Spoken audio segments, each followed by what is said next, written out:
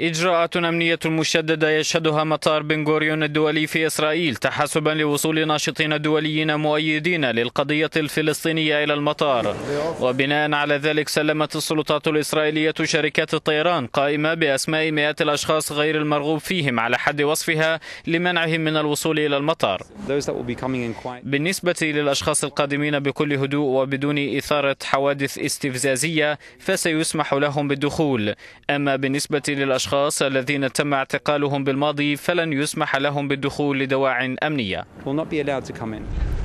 في تلك الأثناء طالبت حركة حماس السلطات اليونانية بالسماح بانطلاق سفن الحرية من الموانئ اليونانية باتجاه قطاع غزة بهدف إيصال مساعدات إنسانية. إننا ندعوكم للسماح بانطلاق سفن أسطول الحرية التي تحمل هدفا إنسانيا ساميا. وهو كسر الحصار غير القانوني.